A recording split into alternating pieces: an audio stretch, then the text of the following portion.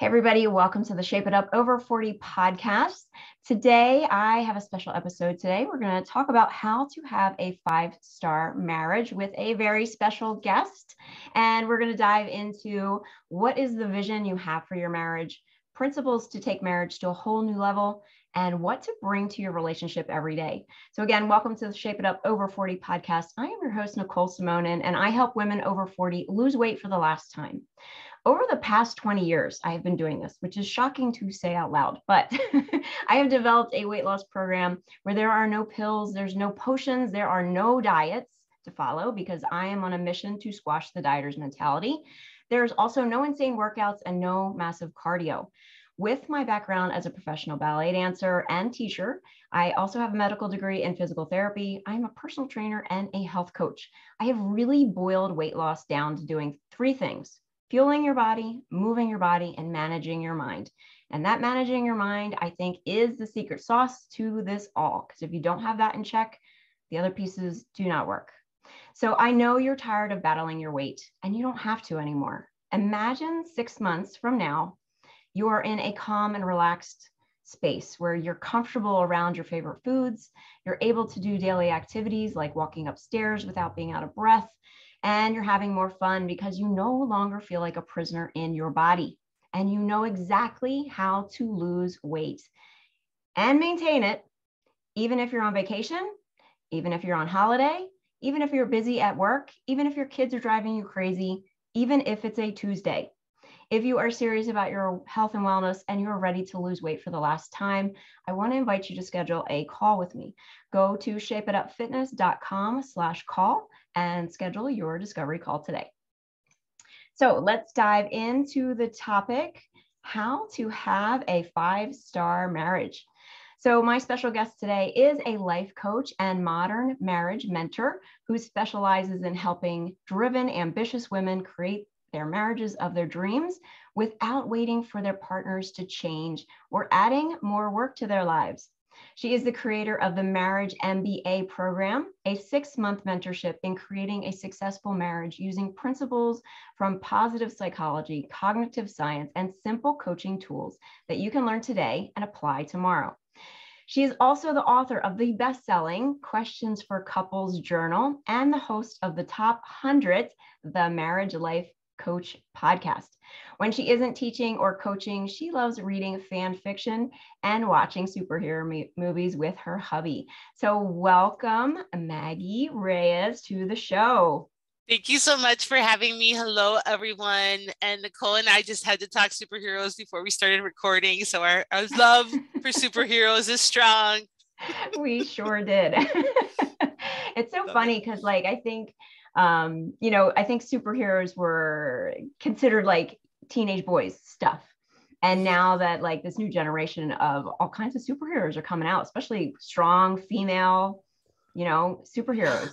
Yeah, I and think I think it's also like dismantling the patriarchy and the mindset that it's like, oh, superheroes are for boys instead of for girls. And that whole way of thinking, I think, is just thank thankfully because of conversations like this one and the ways that people are thinking now that's just something that we're working through where it's not even true. I remember seeing a documentary about like the Barbie doll. Mm. And if you think about a Barbie doll, we call it a doll.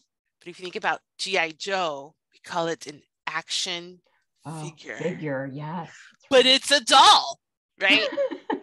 it's so interesting. And when we think about whether it's your relationship or weight loss or whatever it is that you're focused on, how we talk about things determines how we think about things. Mm-hmm in mm-hmm. ways we don't even realize, right? So it's like next time you see an action figure, just remember it's a doll. And how about if we look at a Barbie doll and say, hey, she's an action figure? Yeah. Well, you know, they're not going to call a, a, boy's doll a doll back then for sure. There was yeah. no way that would be so, called. It's funny that you mentioned that because um, as a kid, I loved Wonder Woman. So and did I. Carter, right? And yeah. I had the Wonder Woman, you know, where her yeah. physique was very yeah voluptuous at top and then very narrow. And then she had these weird fingers. I don't know. Oh. Remember? Yeah. Yeah. Yeah. Wonder Woman was awesome. Wonder Woman was awesome. I love that they brought Lynda Carter back on um what was it? Um Supergirl. Yes, I love that. yeah. like paying homage to as many things as they can pay homage to on those different superheroes. Yeah, we're all about yeah. we, we might have to do a, like a whole other episode. I know, I know. We have to do superheroes and fitness for... and marriage. We'll figure it out. Right, right. so Maggie, tell everyone how you a little bit about yourself and how you got started on the business that you do.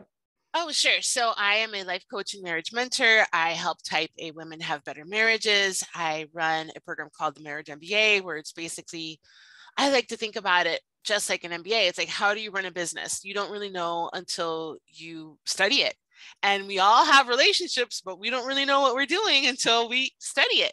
Um, so that's what I do now. I used to work in HR for many years. I was the training director in a law firm, and then I was a recruitment manager in luxury hospitality. And I always like to joke that I've been talking people off ledges my entire career. The only thing that has changed is which ledge I'm talking them off of.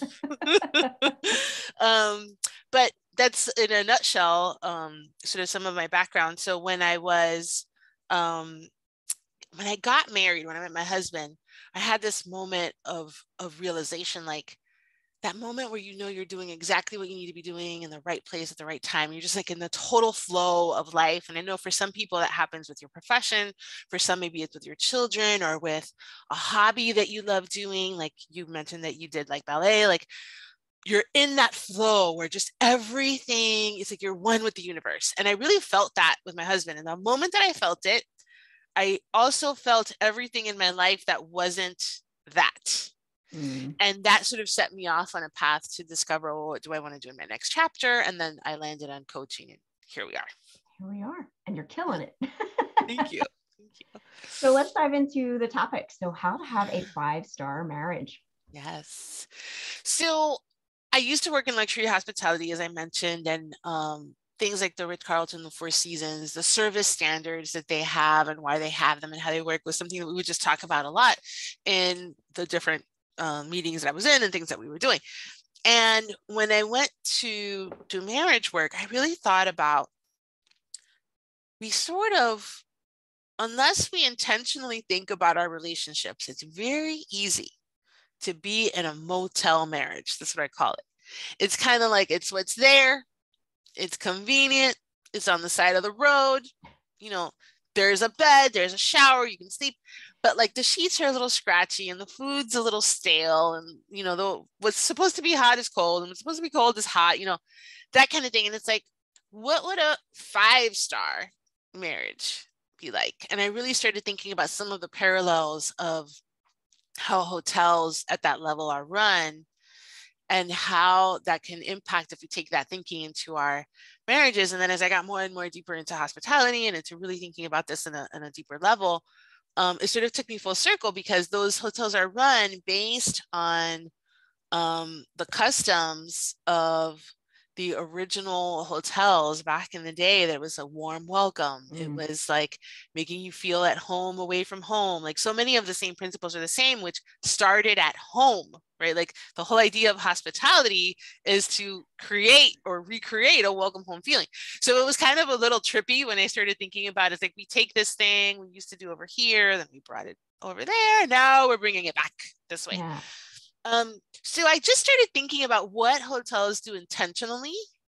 And then I broke it down into these seven things that I noticed. And then how does that relate to what we can do intentionally? So the first one is to decide, mm. right? It's like, what is your vision for your marriage? Most of us don't have one. Like, I wouldn't have one unless I started thinking about these things, right? I would just, I, I liked my husband. He was nice and kind. Let's do this, right? Let's right? do this, right? Let's do this. Um, and that's most of us, right? But it's like, what matters to us. So, to give you an example, so in a hotel, if you go to a place like a St. Regis or something like that, they will answer within three rings. They will always answer within three rings. It, like the building must be on fire if it takes them the fourth ring. Why? Because they decided that part of a warm welcome was that you're immediately attended to, like, and now then they operationalized it. Mm right and so i like to think about that as like what is the vision and then how do we operationalize it so for example for me as a coach i don't do classes or podcast interviews or things like at night most of the time i'll occasionally make an exception every now and then but i don't do my work regular work schedule that way why. It's my equivalent of my three rings. It's like that time is set aside for my husband to watch superhero shows or movies or whatever we want to do and hang out. And so I have taken this value, which is I want to have together time with my husband. And then I have operationalized it by having, whether it's a rule or like a general guideline that I follow of I do this thing most of the time because this thing matters to me. Yeah. So for everyone listening, just think about when you think about what's your vision for your marriage, it's like just think about one thing that matters to you and how do you operationalize it.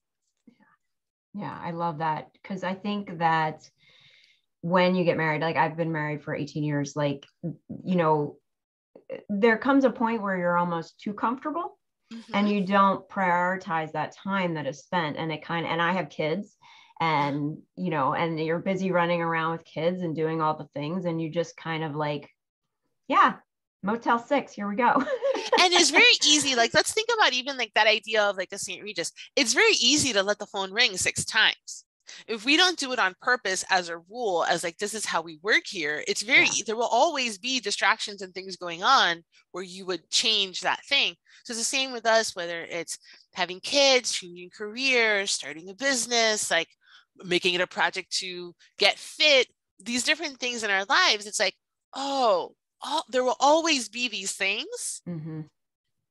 what do we want to stand for while these things are happening? And this is one way in to think about that.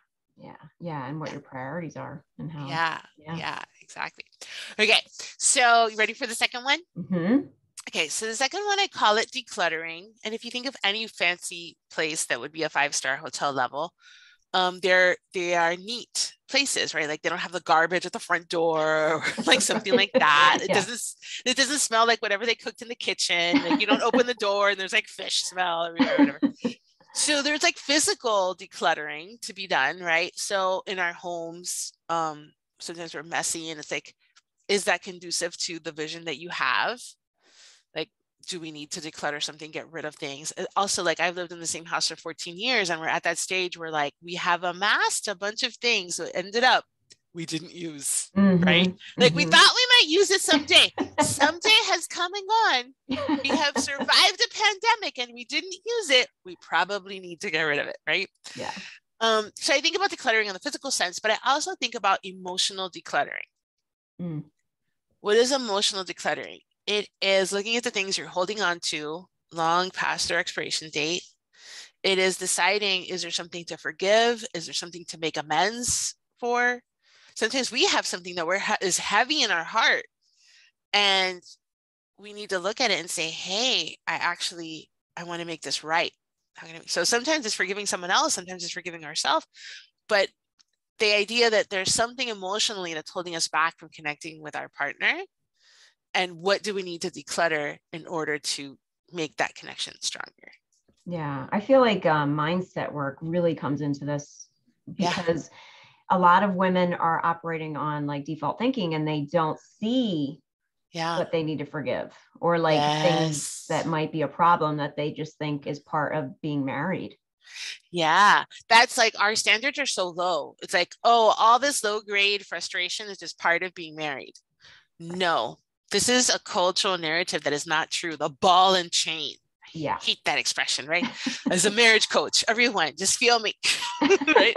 like this is the cultural narrative around what relationships can be as opposed to what if it's this most amazing I call it sexy besties. What if it's the mm-hmm. most fun part of your life? What if it's a sanctuary in your life? Like, what if it is like a five star hotel and you do feel like a sanctuary when you come home? And if, and if you don't, let's like, let's investigate why. So the, the emotional yeah. decluttering is also this place where we can start investigating well what is in between me and feeling that way and just bringing awareness to like okay these are all the things that have happened these are all the issues that we need to now we go one by one gently and lovingly right? Do i want to keep this? Do i want to keep this? What was that um does it inspire joy like marie kondo right? Like if it doesn't inspire joy why am i keeping why it? keeping What's it? Yeah. on?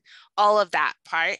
And this is not easy right? Like just like fitness and weight loss and those things, these are things that when we start uncovering the layers, it can feel challenging, it can feel confronting, it can feel difficult. And then that's why we have programs like the programs that we run and do the things that we do to help people step by step as they uncover and work through these things. Yeah. So do you have any more of those Do you want to share oh, or yeah. So uh, of course there's seven of them. Um and we'll kind of go through them and I'll send you the link. I have a podcast episode called The Five Star Marriage where if anybody wants mm-hmm. to hear like in depth each yeah. one, they can um, use that link and they can just hear me talk about each one. But um, the next one is the idea of bringing your best self to your relationship. So very often we lead with our wounds. Mm. It's just what's there, right? If I if I suddenly you know cut myself open and was bleeding, I would be leading with that, right? Yeah. I would need to get that mended before I could do other things. But because our uh, so many of our wounds are internal, we don't realize we're just walking around bleeding on people. Mm. And we need to like attend to ourselves, find out what we need to figure out there. And then how can we bring our best self to our relationship? That doesn't mean you only bring your best self. That doesn't mean you never bring your wounds. Like that, it's not about that, but it's like a lot of the times we default to the opposite where we bring our worst self all the time. Mm. And if you think about a five star hotel, like um, people are dressed in a uniform, they like there's an element of taking care of how you're presenting whatever you're presenting even when there's a problem. So it's not about perfection or or never having an issue. It's just being intentional about what you're bringing right? Yeah. Um I was go ahead. going to say one of the things that I personally have been working on, but I'm also um, helping my clients with in the sense of like you know, especially with weight loss, there's a lot of shame and judgment that comes with it. And kind of like stepping into like, how do you want to show up? Even if you're not like the person that you quote unquote want to be yet, like how are you showing up in your everyday? How are you showing up as the person that you want to become? And I think that as um like I love the fact with relationships, like the other person does not have to change. Right it really starts with you. And once you learn to kind of love yourself and heal those wounds and figure out, okay, this is who I want to be, then mm-hmm. it's like, then it's, I feel it's a little bit more open for conversation because you're coming from a, a more authentic space rather than like victim mentality. And I know someone listening will think, what do you mean the other person doesn't have to change? They were mean to me yesterday we need to question all of it, right? There are situations where if someone is really uh, like violating your values and going against things you believe in, then we need to ask yourself, we need to ask ourselves or yourself, why are you allowing that behavior? Like, what are you accepting that is unacceptable? That could be a place we take our brain, mm. but it could be, you know, I kind of like to frame it this way. It's like I work with a lot of people, and like, not all of you are married to jerks, right? Some of you are just ma- married to good humans who are having a bad day but if you are married to a jerk, we need to figure that out sooner rather than later. Like we want to have that piece of data. We want to know, right? Yeah. And so in order to do that, we really have to clean up our side of the table in order to figure out to like let's shake it out and see what stays and i mm. loved at the beginning of the episode where you said how you work through three things and these are the only three things you really need to do to to like have the weight you want to have. And for me, it's there are also three things, they're slightly different, but there's three things that if you do these things eh, or look at things through this lens, you can figure out what kind of marriage you want to have. And it's perspective, how you're looking at things, partnership, are you friends? Are you cultivating team? Are you roommates? Are you passionate partners? Are you sexy besties? Like all the things that elements that go into partnership. So perspective, partnership, and then pleasure. Are you having fun? Like pleasure includes physical fun that you have together, but it also includes just hanging out and laughing and spending time together. And it's like when you address those three things, you can thrive. If you don't address those three things, like without those three things sort of running together, you can have a relationship, but it won't never get to thriving. Yeah. Yeah. Yeah. Yeah. Um, so taking action like today you're going to listen to this podcast we're going to talk about some cool things pick one of the things we talked about and do something with it mm. take action it's really really important um, and then there's something that um, five star hotels do that couples who thrive also do. And there's a great uh, resource called the gottman institute. They research marriages and they create interventions based on the research their research findings. And one of the things they found is that couples who thrive they know each other's interior world. Mm. like they know like what upsets you what delights you what's going on with you. Like they don't have to have everything put together. It doesn't have to be like a fancy box but they know each other's interior world. So i like to think about that like building your love database so a five star hotel when you come in and you order a mint tea and a Kit Kat, they will put that in their little database. And if I go to the Ritz Carlton in Miami and then I go to the Ritz Carlton in London, they'll say, Oh, would you like a mint tea and a Kit Kat? right. And they literally build a database on the preferences and delights of their guests. So it's like, think about right now have you shared, whoever's listening right now, have you shared your biggest dream with your partner? Think about do you know your partner's biggest dream? If you do, great. If you don't, ask them tonight. right? And all those sort of little details like that. So that's a, a key in having a five star marriage is knowing each other's interior world, building your love database, that kind of thing. And then the last two are really asking the right questions. So sometimes we ask the wrong questions, right? And we spin in circles for years and years with the same problem. I know everyone mm. listening to me will have something that is like a persistent argument that they have with their partner that has never gone away. Mm-hmm. And if you have that, we need to ask a better question here. Very often, it's as simple as this instead of trying to solve for that problem, how do we manage that issue? Like instead of wanting the thing to go away, which we've tried for a long time and we haven't done it, how do we manage the fact that that thing is here? Yeah. Yeah. What do you I think, think, of that? Yeah. I think sometimes I'm sorry, my dog is shaking yeah. like a, a, a crazy dog back there. I don't know if anybody can hear it, but yeah. um, yeah, I feel like a lot of times. Um, oh, I'm sorry, I just totally blanked. Talk. Tell me what. Yeah. So it was that like we have this this persistent problem that oh, hasn't gone away, and we're asking the wrong questions about it. Yeah. Yeah, and I think sometimes, um, I think as women too, we want solutions like and i think sometimes that question maybe isn't not not that it shouldn't get answered or it, it just maybe it's not um, fleshed out enough where you guys can come to an agreement or come to a resolution and maybe that's okay that it's lingering yeah. a little bit and the way we would think about it is it's not a problem you solve it's a problem you manage mm. right which is a different thing so i'll give you one of mine um, i am not the most punctual person on earth like especially for family events or social events or things like that. Like I'm from the Cuban culture and you know, half an hour late is early for us if you're having like a family barbecue or something like that. And my husband is very punctual. So his family's from Nicaragua and I think it's like a statistical anomaly. I don't know, but they're very timely. And when we first got together, it was like, that's not going to necessarily change. Like I'm still going to have my tendency that is what I grew up with like my whole life, but how do we manage that? So he'll tell me, you know, what time we have to be in a place. I'll be like, oh, you know, if we're going to factor in some extra time, we might add some getting ready time to that. Like we manage the issue instead of expecting it to just disappear. Right. Just to give you all an example of like, how does this work in practice? That's like one example. Yeah, I know. Um, I I've definitely I'm on time when it comes to business stuff. Mm-hmm. I'm like right on time. But when it comes to like leaving certain things, like my husband likes to leave extra early, like if we were going to soccer or something like yeah. that, which is fine. Yeah. But he would always tell us the time, like say we have to leave at 1 15, he'd tell us we're gonna leave at one o'clock. So everybody's ready.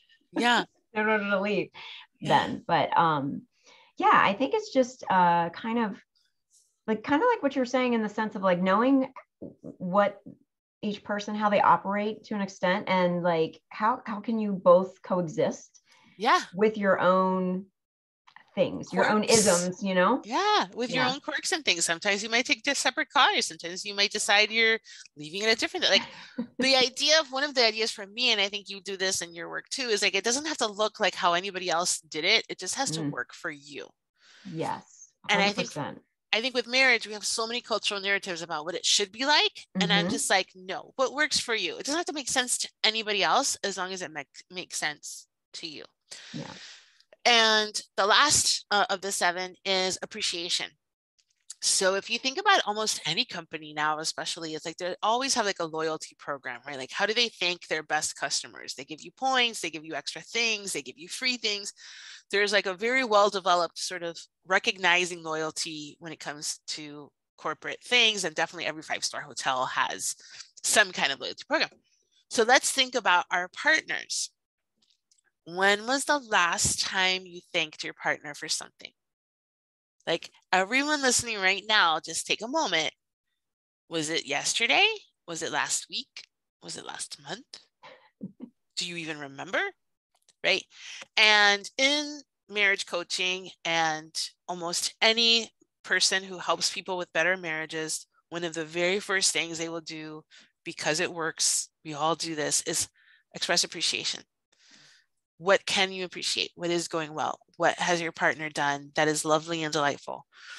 And appreciation to me is one of the glues that holds marriages together. It's one of the things that if you're expressing a lot of appreciation it's kind of like you have more space to make mistakes because everybody sort of feels good about how things are going. Yeah. but if you never express appreciation it's kind of like you have less room to make mistakes because you're already starting at a deficit. Mm-hmm, mm-hmm. And um, to quote the Gottmans again, I love this concept they have called the emotional bank account. So it's like you're making deposits in this emotional bank account with every time you express appreciation that allows you to then also make withdrawals when something happens. But right. imagine if that emotional bank account is empty and then you go to make a withdrawal. Now you're overdrawn. It's a big problem. Yeah. Yeah, it's funny when you said that because yeah. the first thought um, I thought of when you were like loyalty program is a punch card, mm-hmm. like showing your husband a punch card. Um, yeah. But yeah, I love to like you know focusing on the positive. Yeah, is much well. It depends on where I think you are in your relationship, but like when you focus on the positive, there's just more you're more happier you know what i mean like because you know women get together and they complain about their husbands and and talk negative and all that. And it's kind of like I, I related to women who sit around talking about the diet that they're on and that they can't lose weight and that you know oh my gosh I, I, I can't eat that piece of bread. And it just like stirs that pot of like negativity. That but gets yet, you nowhere. Yeah. Yeah yeah. And it makes you feel like crap. I mean yeah. So for all of you listening we know that you're not doing that. But if you are doing that just stop right now. Just stop today. Right. and to me, I don't think, for me personally, in my um, philosophy and paradigm, it doesn't matter where you are in your relationship. You can look for the positive right now, no matter what just happened, because you want to see is there any? Yeah. I have talked to people where they'll tell me, oh, this is happening and this is happening and this is happening. I'm like, okay, great. Well, tell me about the good parts. And sometimes people will then also tell me a long list of the good parts that they were ignoring. And sometimes people will tell me, uh, no, that's it. That's all that's happening. We want to see that. So when we start to go look for appreciation, now what you want to do is a lot of people are in relationships that don't have dire things happening, but there's a low grade annoyance that just doesn't go away. Mm. And that low grade annoyance is like poison. If we don't do anything about it, it will poison the relationship. So we want to see is your partner, I don't know, turning on the heater if it's the winter because they know that you like that. There's a lot of little things our partners do that make our life easier mm-hmm. that are very easy to overlook when we're upset about something. Yeah. Yeah, because I, they're so yeah fine tuned. They are not yeah. fine tuned, but like they're so small that you don't yeah. you kind of gloss over them. Yeah. Yeah. So I would invite everyone to think about something they can be grateful for with their partner and look for it no matter how tiny it may seem. It's it also helps you retrain your brain to look for what is working and then you start creating more of what is working. Yeah. I yeah. love all that. Yeah, thank you. and I think we covered all the points that all we seven. Were, awesome. Yeah. Um, yeah. So Maggie, what, uh, where can people find you? So my website is maggiereyes.com. So M-A-G-G-I-E-R-E-Y-E-S.com. You can find out everything about what I have going on there. I have a podcast called the Marriage Life Coach Podcast. Anywhere you like to listen to podcasts, you can download and subscribe to that. And I talk about all these topics in depth on the podcast. Yeah. Um, touch on your book real quick, if you would. Oh, yes. So um, my book is called The Questions for Couples Journal. It is, as we talked about, building your love database, knowing each other's interior world. If you're like, I don't even know where to get started on that, we haven't had a conversation that wasn't about like the mortgage or the soccer team or dinner in like the last five months then you can go to Amazon or anywhere where you buy books. I basically had a, almost a nervous breakdown when it was in Target. I'm like, oh, my book is in Target. Ah, so cool. so anywhere you buy books, get the book. Hmm. Um, it's called the Questions for Couples Journal, and it has categories. So there's things about goals and dreams. There's things about your past. There's things about um, money, sexy times, all this sort of different things. And the questions are really designed to be conversation sparkers, but not like super controversial or anything like that. The idea is to just open up a conversation with your partner. And it's so fun because I wrote the book, but while I was writing it, I wasn't like answering the questions with my partner. So every once in a while, we'll pull it out and it'll be like, yeah, that's a good question. I like that one.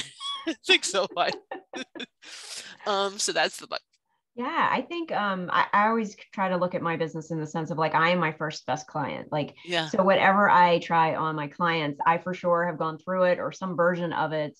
Um, yeah. And it is always interesting because like I know when I'm coaching some people, I'll tell them something. And then I'm like, later on, initially as I'm coaching, the thought will come in is like, oh, I should really pay attention. Like, like just yeah. mark that, that I need to pay attention to that as well. yes, absolutely. Yeah. So if anybody missed any of the links, you can definitely get them in the show notes. Um, it's going to be under the podcast. If you're watching this on YouTube, it'll be there. And if you cannot find it, go to shapeitupfitness.com and just look for Maggie's episode and it will be in there as well. All right. Now it's fun time, speed round time. All right. So I know I have some um, superhero type questions that I would ask you, but I'm going to start with Did you have a favorite TV show growing up? Yes, I had multiple favorite TV shows growing up. Probably my number one favorite was Oprah. I would watch it after mm-hmm. school when I got home. She's been a big influence in my life. I talk about her a lot. So I'm going to go with Oprah for that one. Awesome. Let's see. What was your first job? And it doesn't mean like official job, like it could be a kid selling lemonade. Yeah, let's see. The very first thing I ever got paid for was doing inventory at a store that doesn't exist anymore. It's called it was called J. Byron's. So it was kind of like a Kohl's type mm-hmm. store. I think I remember, yeah. Yeah. Um, that was the very first thing that I ever like received money for doing. I um when I lived in Virginia, I worked at Dillard's, which is oh, similar yeah. to a Macy's. Yeah. yeah. Um, oh my gosh, they had me in the junior section. I, I would straighten out those jeans, and literally, like seconds later, it was like a whirlwind of teenagers came in, and jeans were everywhere. it yeah. was very frustrating. yeah, I can imagine. Yeah, I did not. I didn't care for the retail side. um, all right, next question.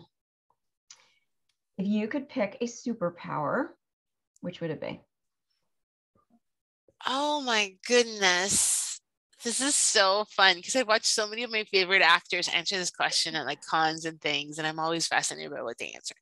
Um, if I could pick a superpower, what would I pick? Oh, there's so many pros and cons to all the different ones. um, I'm just gonna say flying because why not? Let's fly. I think flying is fabulous. Just to like, especially with COVID. I mean, I could just grab a bag and fly. Just, just go, go, somewhere. yeah. um, all right. So I'm gonna throw in one more. Okay. Who is your favorite superhero? Okay, now that's a complex question that requires analysis. So let's see how much time we have. Um, I actually sort of rotate through different superheroes that I really like and enjoy. So I of course love Wonder Woman, as I mentioned earlier in the episode. She's definitely one of my favorites. I grew up um, with Superman, so I used to watch the black and white old 40s or 50s show with my grandfather. So that sort mm-hmm. of has a very sentimental mm. like attachment for me. I love Captain America in the sort of more modern uh, movies. My husband always says that he's like the conscience like the conscience of the of the team oh, like yeah. like mm-hmm. like what's the right thing to do and have yeah. we considered moral compass. the moral compass. Yes right? And even when they had that civil war stuff going on he's like but it's what's right even if it's hard all of that. Um so i sort of I, I really have to say that i can't pick just one. I could probably give you a list of 10 more. Like i love um the green arrow which is like that's a show it's a tv show called arrow where there was a time in my business where I was really overworking and and it's like every single minute I was thinking about coming up with concepts and stuff like this, right? It was it yeah. was time well spent, but but there was a time where I really needed to disconnect and sort of rest and take my brain to to a different place. And I started watching that show on Netflix, and then I started watching it like in real time. And it's a show that was sort of at a pivotal moment in my life. It just helped me process this chapter of life that I was in. So I kind of get really sentimental about it, even though it's just a regular superhero show, right? Like hey, it's not Felicity and the Arrow is right? Felicity's the best. She yeah. was a great role model for a woman in STEM who, you know, mm-hmm. she was the mm-hmm. computer um, genius on the show that like resolved so many things for them. And that was great to see a powerful woman be critical, you know, to the team, all those things. So I could get really philosophical about the superhero situation yeah, I loved how Felicity. I loved when she came on as her character and how she kind of evolved yes. into the woman that she became but yeah yeah yeah that yeah. is so awesome. So what are your like top three favorite superheroes? Let's turn the tables nicole. Oh me? Yeah. Ooh, let's see. Hmm. Definitely i mean Lynda Carter was definitely an influence. Um hmm. Oh that's that's now that See? I think about it. Yeah, I'm trying to think. I know we were talking um, before the episode, um, Venom. Venom. yeah. I, uh, I I was telling Maggie I had very like low expectations for this movie when it first came out, the first one. Um, Tom Hardy is in it, and I loved it. I thought it was hysterical.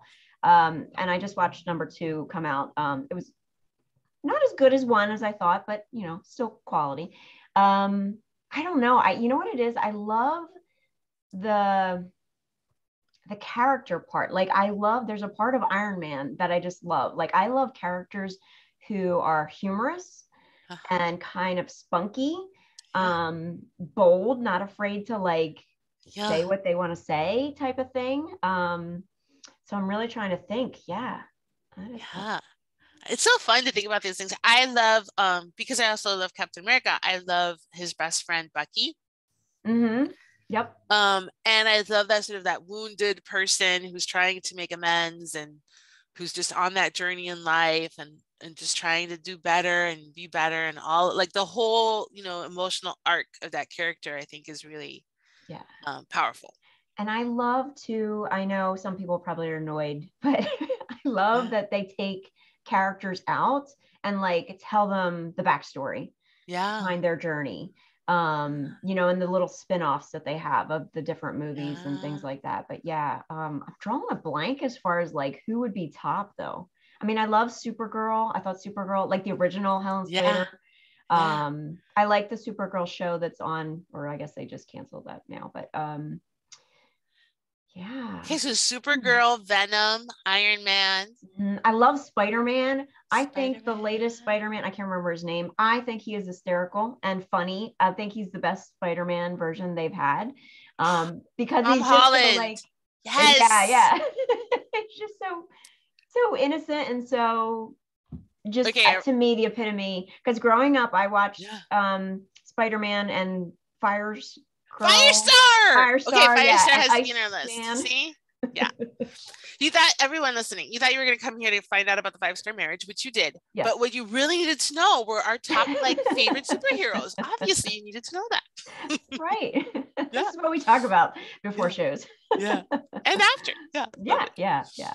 Yeah. What were you going to say though? You were starting to say oh, something. Oh no, that was it. Yeah. Yeah. Awesome. Well, I hope you guys have enjoyed our banter of superheroes. And for sure, I know you loved all the tips that Maggie gave us on marriage. Definitely go check her out and uh, get her book. I'm going to have to go look in Target. Yeah. Um, let me see. You can get it on Amazon. That's really the easiest and fastest place to get it. I usually yeah. have one on my desk. Here we go. This is oh, there it is. If you can see it, if you're on the podcast, it, it's square. Yeah. if you're yeah, if you're listening to the podcast, go to YouTube and go see me. Right, right. Proud of my book. Yeah, love it. We'll have to take a snapshot of that and put that on the yeah the thumbnails. love it. All right, Maggie. Thank you so much for coming on and being a guest. I really had a great time talking. Oh, my pleasure. Thank you for having me. Thanks everyone for listening. We hope you had a great episode yeah, we hope you had as much fun listening as we did. Recording. Right, right. All right, everybody, have a great day, and I will talk to you next week.